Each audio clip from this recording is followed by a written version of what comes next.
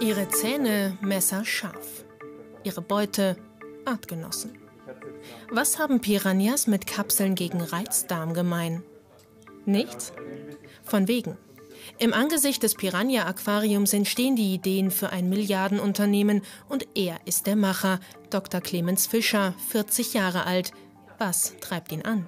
Dass ich eigentlich noch viel schneller sein muss und ich denke eigentlich mehr so in der Zukunft, was ist der nächste Schritt, wo geht die Reise hin versus was habe ich erreicht, das zählt eigentlich heute schon nicht mehr.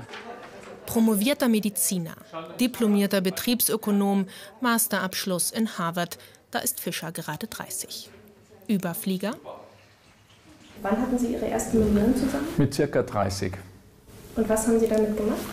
Wieder investiert in neue Erfahrungen und in neue Projekte. Mit 32 Jahren ist Fischer in der Geschäftsleitung des Pharmakonzerns Novartis, aber die Prozesse sind ihm zu langsam.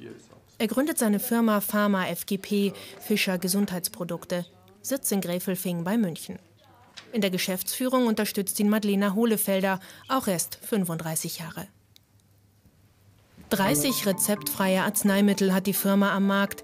Ihr Aushängeschild Kitschemia gegen Reizdarm mit Zulassungen in ganz Europa und den USA. Außerdem Präparate gegen Hautrötungen, Schwindel, Erkältung. Fischers Kapital erforscht nach traditionellen Wirkstoffen, die die Konkurrenz bislang wenig interessierten.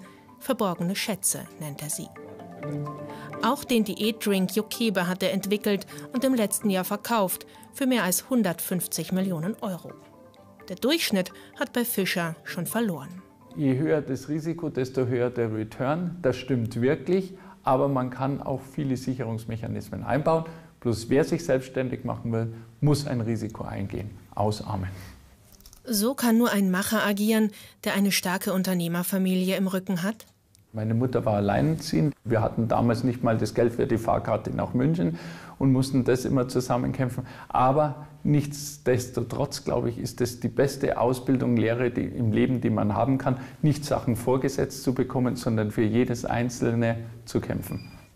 Heute ist Fischer selbst millionenschwer, sein Unternehmen eine Milliarde wert und den Hubschrauber hat er nicht nur als Modell. Übrigens, die Zahl der Piranhas hat sich seit der Firmengründung verringert. Fressen und gefressen werden. Die Devise auch für Fischer?